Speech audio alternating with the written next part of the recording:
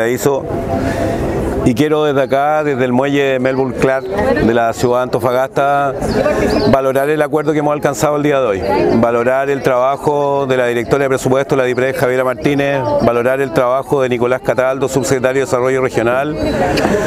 puesto que después de una intensa noche hemos logrado arribar a un acuerdo que nos deja conforme al conjunto de gobernadores y gobernadores regionales de Chile agrupados en Agorechi. Hoy día hay plazos concretos para mandar un proyecto de ley para terminar con la figura de la delegación presidencial regional, eso es el mes de mayo.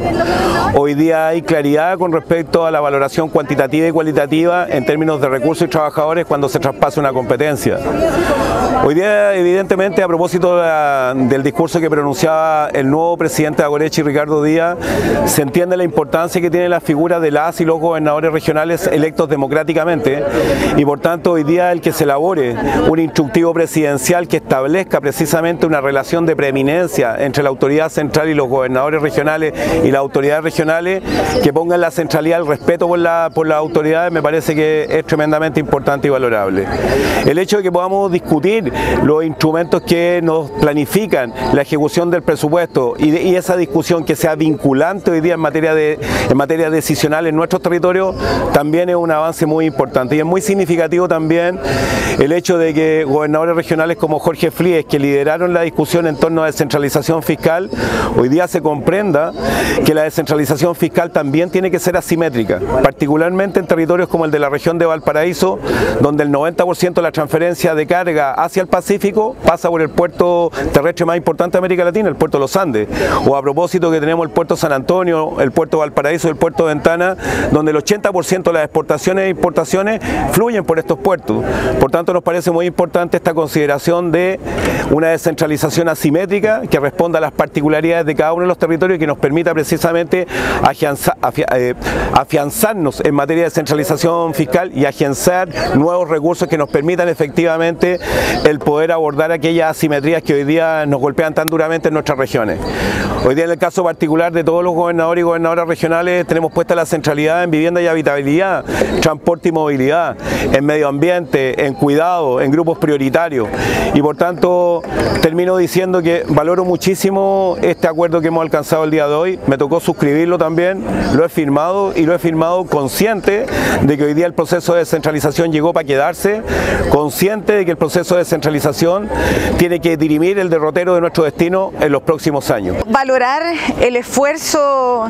que se ha hecho durante todo este año, durante la Organización de Gobernadores de Chile, valorar y agradecer el trabajo de la directora de presupuesto, Javiera Martínez, ella siempre ha estado a disposición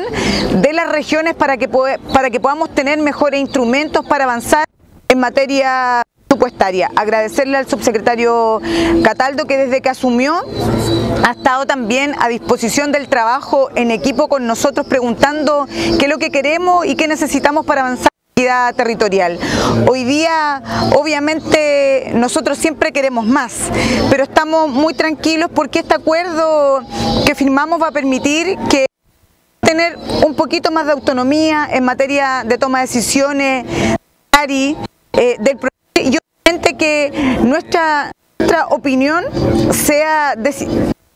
al momento de definir cuáles son los proyectos que implementar cada uno de los territorios porque somos nosotros los gobernadores y las gobernadoras los que sabemos. Y, complementando lo que señalaba la directora de efectivamente logramos materializar un acuerdo que llevamos trabajando hace bastante tiempo ¿no? y que cambia el eje, la aguja en materia de descentralización. Eh, recién veíamos los avances en materia de descentralización fiscal que son muy relevantes que ya llevamos avanzando hace bastante tiempo, pero también queremos mejorar el proceso de transferencia de competencias, pensando incluso en cómo ampliamos esto a conjunto de competencias que sea mucho más robusto, pensando en la eh, capacidad mucho más integral de los gobiernos regionales de poder desarrollar acción en el territorio, pero también en la diferencia de servicios, y esto es muy relevante. Hoy día fortalecer el trabajo de los gobiernos regionales para que puedan accionar respecto a un determinado ámbito eh, en su completitud, de contar con personal, con recursos y con la institucionalidad para poder orientar y desarrollar la acción en función de un determinado tema es clave, porque cuando el presidente nos ha dicho ya reiteradamente, quiero salir con menos poder que con el que entré, precisamente de esto se trata, ¿no? de que los gobiernos regionales, la institucionalidad de los gobiernos regionales pueda tener más capacidades y transferir poder al territorio.